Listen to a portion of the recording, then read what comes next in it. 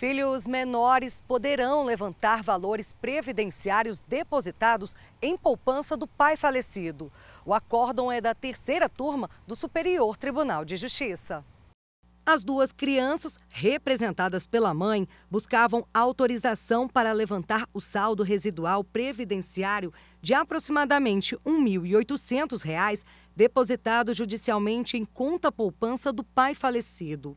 No pedido de expedição de alvará, a Defensoria Pública alegou que os filhos viviam em estado de pobreza, de forma que os valores seriam imediatamente revertidos em benefício deles, especialmente para gastos com educação.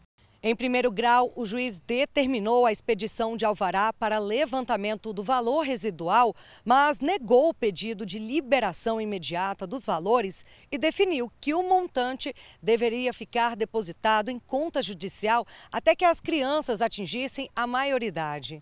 A decisão foi mantida pelo Tribunal de Justiça de Minas Gerais, que levou em consideração o fato de as crianças receberem pensão por morte. No STJ, a terceira turma deu provimento ao recurso especial com base nos princípios do melhor interesse da criança e da razoabilidade.